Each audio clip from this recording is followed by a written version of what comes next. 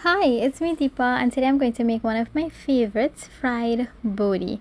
And the best part about this bodi is that I picked it from our garden. It is the first time we planted bodi. They grew really really fast and it was so satisfying picking and cooking our very own homegrown bodi.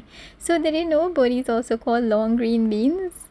Anyway, to my heated non-stick pan, I am adding coconut oil, onions, garlic and hot pepper and I'm going to saute this until it's nice and tender. This is just my preference. It's how I like making my bodi um, I try making that healthier choice and this way I use less oil and it's really delicious. So I urge you to try my method but if not you can continue making your bodi the way you like it.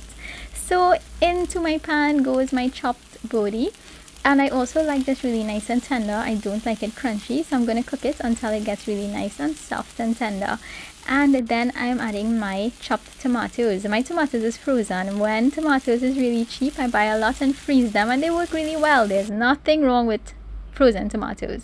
So last I add my Himalayan pink salt to taste and I'm going to have this with my Mazuri dal wraps or red lentil wraps. It's flourless. Look out for that recipe and I hope you all like this video. Bye!